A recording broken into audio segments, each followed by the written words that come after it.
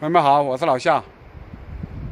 这次是走上了丙察察之路二幺九的，从茶瓦龙出来，又来到了这个怒江大桥。前几天我们跟来到这里打过卡的地方，这次是两人一车。看一下这个怒江大桥，怒江大桥观景台，这个是在山体岩石里面按凿的洞子来打的这个锚点，钢钢索桥哈。钢索桥，怒江大桥，上次已经在这里打过卡了。这个观景台还可以，而且这里有信号。有缘千里相会。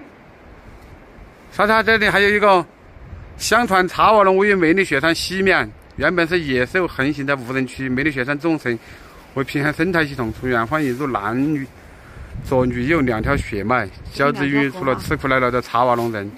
如今两条河神奇会交汇，形成了独特的风景，寓意世界这么大，你我有缘千里来相会。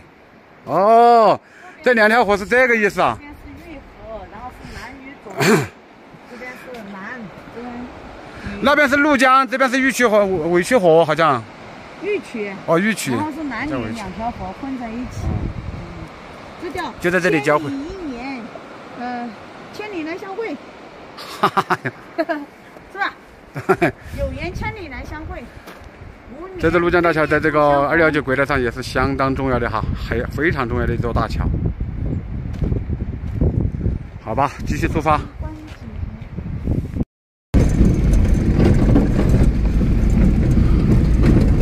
茶茶路上，在深山峡谷里面，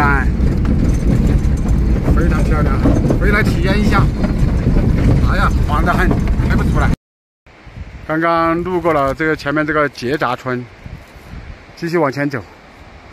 哇，这边这棵树太漂亮了，看看，树干又粗壮又直，又高。前面往前走多远，有没有信号？我到目前为止还不知道哎。这么早扎云的话，觉得太早了。今天走这个二幺九，来到了这峡谷里面，风景倒是美好，但是没有信号。往前面应该要到雪山上那个村庄才有信号了。啊，还不知道有多远呀？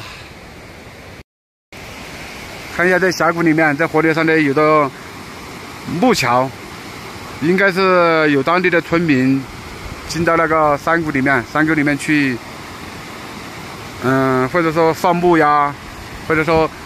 干什么工作的啊？当地的这村民非常漂亮，在峡谷里面特别漂亮。还有多远到有信号的地方？我也不知道啊。只能继续赶路了。这辆车还是非常争气哈！哇塞，这上面这么多泥巴呀！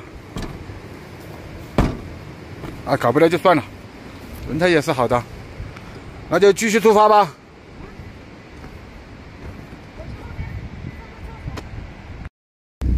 哇，这里是一个天门呀，两边这么狭窄的一个峡谷里面，穿过去都是悬崖，修了座桥。哦，这是这种景色很难见的哟。柳暗花明又一村，穿过来。这个位置是什么位置啊？二幺九的，我也不知道啊。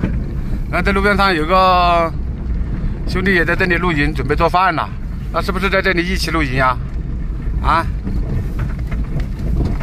那就一起露营吧，不行，我看一下前面有多远，等会儿问一下再说。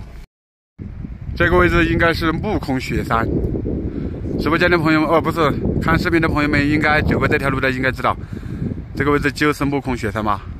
我们继续往前走，不知道到什么地方有信号，要翻过这个雪山吗？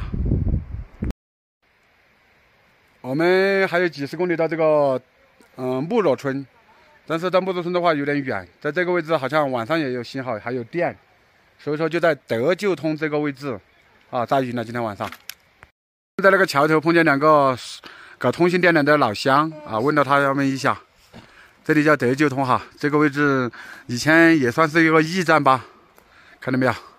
那这里还有有还有房子，路通了之后就没有那么多呃，人在这里留宿了。看见这里森林，这里叫德久通，这个牌子上写的。哦，那边前面那个牌子上写的德久通。今天晚上就在这里扎营啦。这里还有一个骑自行车的小伙子也在这里住营。嗯，他的帐篷已经搭好了。看这小伙子。可以可以搭在那个板子上也可以，嗯，可以搭在哪里都可以。我的小伙子已经已经把帐篷搭好，住宿住宿进去了，看到没？